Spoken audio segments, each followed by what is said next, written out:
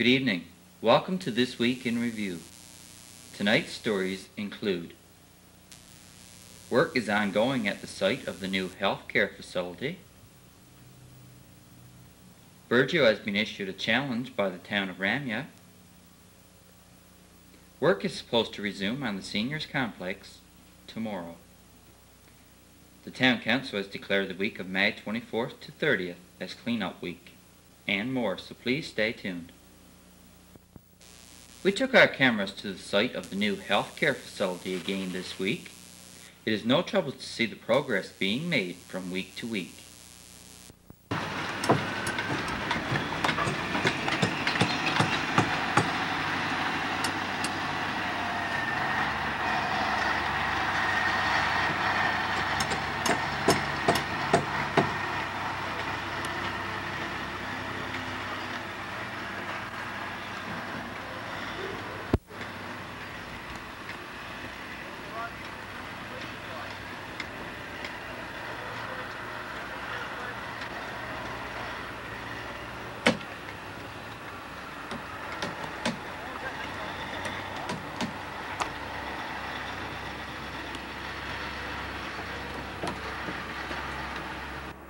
A number of carpenters have been hired by Marco, the company that were awarded the contract to construct the new healthcare facility. There are also a number of people hired by Parsons Construction, the company that were awarded the subcontract for the site preparation.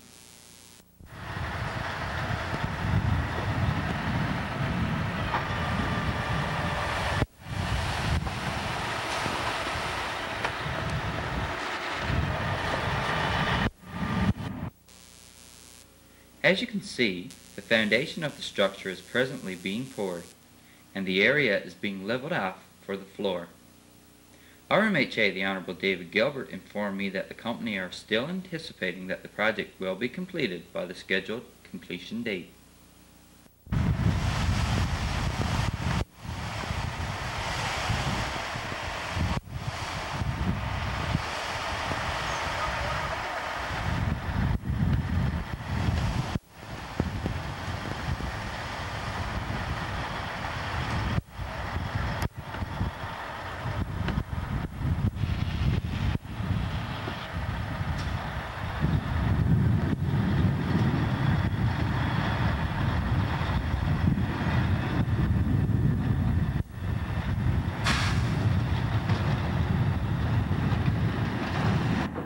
I'm sure that most of you have seen posters such as this one or heard talk around town of the Participation Challenge from Crown Life.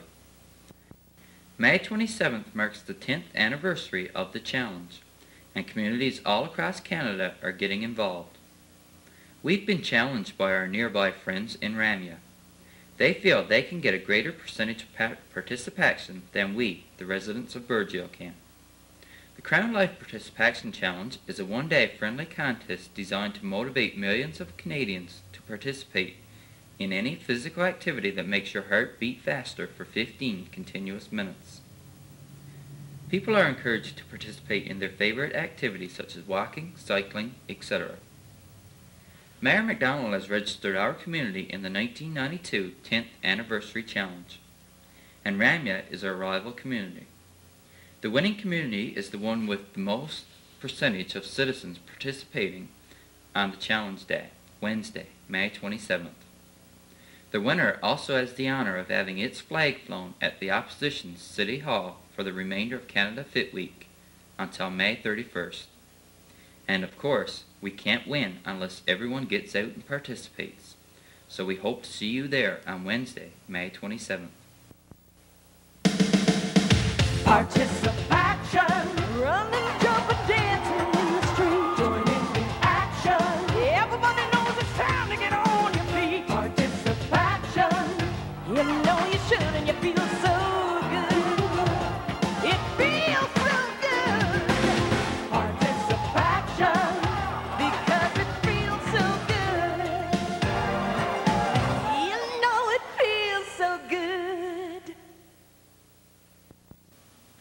Burgeo Town Council has declared the week of May 24th to 30th as cleanup week in our community. Residents are asked to have their property and surrounding areas cleaned up and asked to place the debris near the roadside for collection. For larger objects, such as car wrecks, residents are asked to call the town office and leave their name. Let's all pull together and do our part to make our community a cleaner place. I guess most people have noticed that Irving has a crew in to clean up some of the debris from the old fish plant in their yard.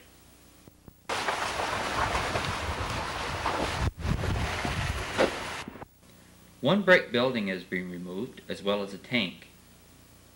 These four tanks are being removed as well.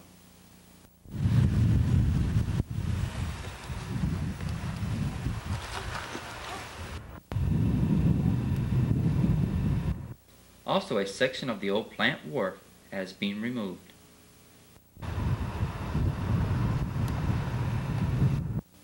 We were informed last week that work on the senior center is scheduled to resume tomorrow. Despite what many expected, this structure was not damaged by the inclement weather we had this past winter. With some of the heavy winds we had over the winter, there were times when I went to the site expecting to find the walls lying on the ground.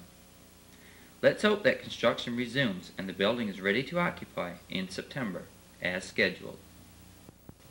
The RCMP had an open house on Friday as part of Canada's 125th birthday. We took our cameras to their office to sneak a peek at what they had on display. Okay, first we have the Brushmaster shotgun. It's a 12 gauge. Uh, we use that for several reasons. One is to uh, shoot uh, wounded caribou that have been hit by vehicles on Burgeo Road. Uh, the other is for barricaded people who have, who have themselves barricaded in, uh, in their homes. We use this. And the ammunition that we use for that is 12 gauge shells of course with a slug. And we use SSG. Now SSG, there's 12 pellets. Now you see that day? The 12 pellets that size and it causes considerable damage to whatever it hits. We also use the 308 rifle. It's the same as any hunting rifle you can buy in the Canadian Tire Store or Pro Hardware. That's, uh, we use that for the same reason as I explained with the barricaded people, also to shoot uh, wounded caribou and etc.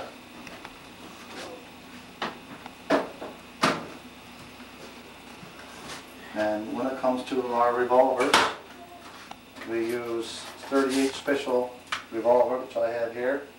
And the ammunition is used for that, you can zoom in there, Dave, is a hollow point. And the bullet mushrooms as it enters the target, whatever it may be.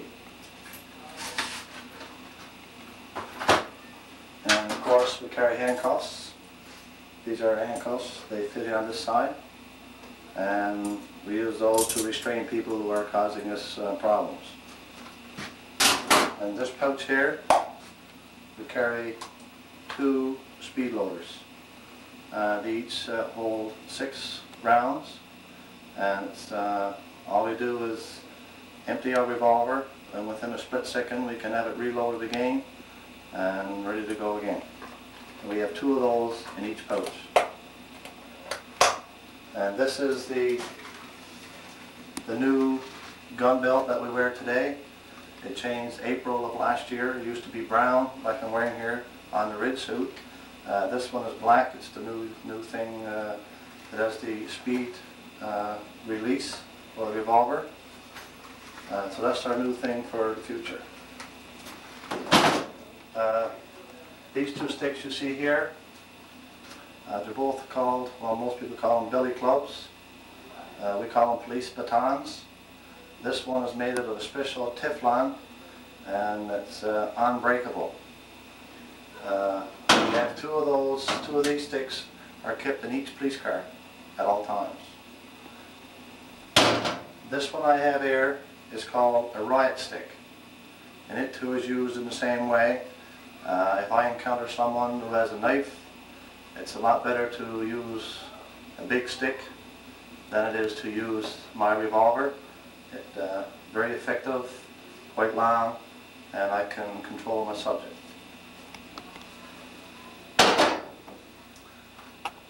It's system. Uh, we can talk to pretty well anywhere in Newfoundland with this, and in particular go through to Corner Brook, and uh, they can patch us through to from Port aux Basques to St. Anthony to Deer Lake. And this is our secretary. Uh, this is her her place of work. And we also have a computer system over here, Dave. It's called WordPerfect. Uh, Judy does all of her work here, or 90% of her work here now. And we don't have many other computers except we have the fax machine, which is invaluable to us to get messages in and out uh, quite fast. And on the floor here, we have five portable radios. Uh, they are used by the ground search and rescue team. If uh, someone is lost in over the road or in the country, uh, the uh, ground search and rescue team also has their have their own radio systems, but these are put on police frequency, and they have contact with us and with the RCMP helicopter, the RCMP boat, and we can also communicate with the uh, Virtual Coast Guard. So it's uh, those radios are very important.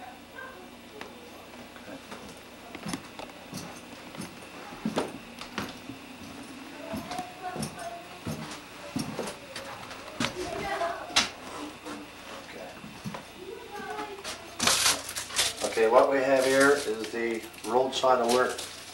It's called alert, and uh, alert stands for alcohol level evaluation road tester.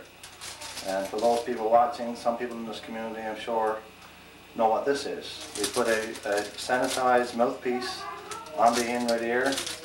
You turn the instrument on, and when it's ready, you blow into this mouthpiece, and you will get a reading of pass, warn, or fail.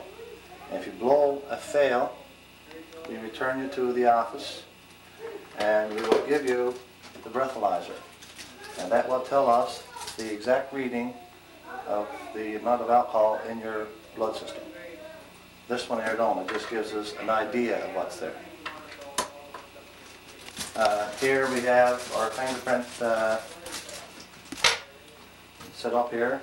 You roll your finger out here on this plate and you put your fingerprint out here as you can see a sample of a couple of kids we've taken this morning. Uh, this is our camera. This is the one that we use. It's the same, it's a 35 millimeter. We take it when we go to a break and enter scene or someone dies suddenly or there's a serious accident or death is involved. Uh, we use these, this camera uh, on a regular basis. Uh, the other camera that we have is set up under continuously and it's used uh, to take mug shots, we call them. And uh, everyone that is arrested and placed in our cells overnight and charged for a criminal code offense, they are photographed and put in our mug. And uh, they are, as you can see, like some of the kids say, just like in the movies. You stand up with your uh, your number. The next person that we photograph will have number 222 and it will go into our mug Dave, uh, we have Johnny Bowles there. He's, uh, we have some uh, spillage of paint on the inside part of the boat and he's using paint remover right now to uh, get the paint off. And we have uh, two brand new motors. Uh, each one is 90 horsepower. And I do believe uh, when they're working to their peak condition, the boat travels at 38 knots per hour. That's in ideal conditions. We have two cell blocks, uh, one at this end of the building, and we have another at the other end. And each cell block contains uh, uh, a sink and a toilet and two bunks. And in case we have uh, female prisoners, we take them to the other cell block where they are incarcerated.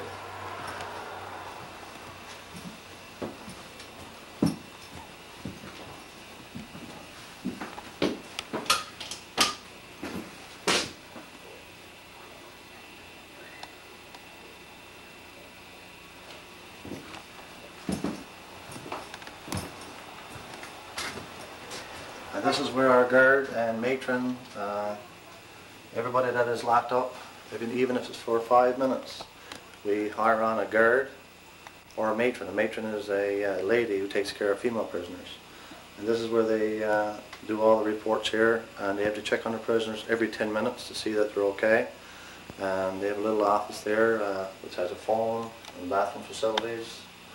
And because they have to work sometimes from 12 o'clock at night to 8 o'clock in the morning, and this is where they operate around here.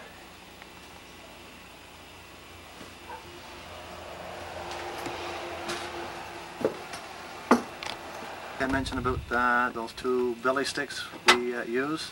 We keep two of them in each car. We also have a fire extinguisher for in case there's any cars that uh, have an engine fire. And our radio systems you can see down here. And on the bottom, the one with the three red buttons, that's our siren and our emergency lights on the roof. Uh, I could I'd like to show you the uh, radar system, but uh, Constable Gisty has that in Ramsey with him. Now over to Mayor MacDonald with the Town Council report.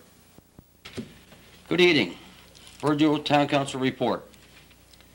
Council has been informed work will start on the Senior Citizens Project on Tuesday, May the 19th. This project is expected to be completed by September 1992. Tenders closed on May the 40th to pay the remaining 20 kilometers of the Burgeo Highway. Also included in this tender is the paving of the main streets around town. This work is expected to be completed by midsummer. Burgeo Town Council has declared the week of May the 24th to the 30th as cleanup week. Residents are asked to clean up their property and place all debris near the roadside for garbage collection. Also for the same week, council will take away, free of charge, all old vehicle wrecks. So if you have an old vehicle you want taken away, please feel free to call the town office. Council would like to encourage everyone to participate in making our town a clean place to live. A petition was received concerning rate increases for Newfoundland telephone. If you feel your telephone rates are high enough and you are opposed to any rate increase, we urge you to drop by the town office and sign this petition. Representatives from the Department of Municipal Affairs will be in Burgeo on June 1st to meet with council concerning the town plan. In attendance at the last council meeting, a delegation from the Mississauga area. They, they presented council with a petition expressing their concern about the water system in that area. However, council informed the delegation that they have applied for funding for this project for the past four years and have been turned down each time. Council also informed the delegation they were still trying to achieve funding for this project. A request was received from a resident of the Long Reach area to construct a 8 by 16 shed for storage use. His request was approved. A request from a business to construct a 12 by 40 extension to present building. That request was approved. A request from a resident of Small Zone area to construct a 4 by 18 extension to a present dwelling. Their request was approved. A letter was received from Danny Dumaresque, MHA for Labrador, concerning community quotas. As you are aware by now, Council has formed a action committee to deal with some of the problems we are facing in our community concerning the fishing industry. However, the committee will not be involved in any way concerning labor relations. These type of problems are to be dealt with by the company and the union through negotiations. All members of the Action Committee are advised that there will be a meeting on Tuesday, May the 19th at 8 p.m. at the Fire Hall.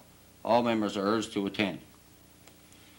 In closing, I would like to thank the beers of this community for getting out last Saturday and cleaning up the community. I certainly uh, appreciate what they've done, and I think the whole community certainly appreciate. It goes to show that our young organizations are deeply involved in keeping our community clean. Good night, and may God bless. Community events. The Lioness TV bingo held on Wednesday night was won by Sean Mercer. The Ground Search and Rescue will be having a TV bingo on Wednesday at 7 p.m. Cards are a dollar each or six for five dollars and available in most stores around town or from any Ground Search and Rescue member. Scotiabank is accepting donations on behalf of the families of the miners who lost their lives in the Westray mine disaster. Anyone wishing to make a donation can do so at any branch of the Bank of Nova Scotia. Upon making a donation, please indicate if an official tax receipt is required. Notice from the RCMP.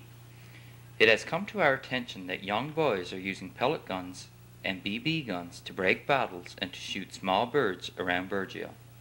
Anyone caught using these guns will be charged accordingly. The legal age to use these guns is 16. A copy of a letter dated May 15, 1992, addressed to Gerald MacDonald, Mayor, Town of Burgeo, Town Office, Burgeo, Newfoundland. Dear Mayor MacDonald, I've tried twice to reach you by phone this week, but was unsuccessful. I know I had committed to get back to you in early May to set up a meeting for mid to late May to discuss the plant closure. But I am reluctant to arrange the meeting until we have devised in detail a plan for reopening the plant, which I can assure you we are working on diligently. As soon as Bell and I have completed our proposal, we fully intend to contact you to set up a meeting in Burgeo, preferably to discuss our plan. Best regards, Paul Blades, Chairman. Well, that's it for tonight's program. Please stay tuned now for the season finale of The Bandwagon. We'd like to thank Clayton for putting time into the bandwagon to come in and host it for us. We'd also like to thank all those who came in and participated. And hopefully we will resume taping the bandwagon this fall. On behalf of BBS and the BBS volunteers, I'm Dave Cooper. Have a great week. Good night. Thank you.